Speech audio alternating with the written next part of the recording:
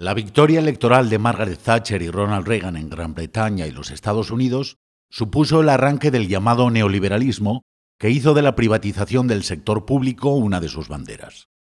A lo largo de los años 80 y 90, las ciudades también participarían de una fiebre privatizadora que llevaría a entregar al mercado servicios esenciales como el agua, la limpieza o los transportes. Con Gabino de Lorenzo al frente del ayuntamiento obetense, la capital asturiana vería privatizados la mayoría de sus servicios, entregados a grandes multinacionales como fomento de construcciones y contratas.